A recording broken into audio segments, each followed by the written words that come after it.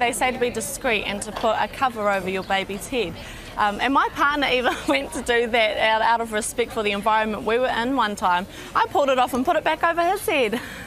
I was like, how would you feel if you were eating your kai and there's uh, something covering your head? I wasn't as comfortable because breasts have always been sexualized. There's such a sexual thing. Um, from my experience, men, they like breasts. Um, you see it everywhere. You see cleavage, you see, you know, women getting boob jobs and everything like that. So for me, becoming a mother, um, I really, I had to even change my mindset and be like, no, the breast is for feeding, and now I can just pull my breast out anywhere and feed my baby. Um, and that, that's been a mind shift for myself.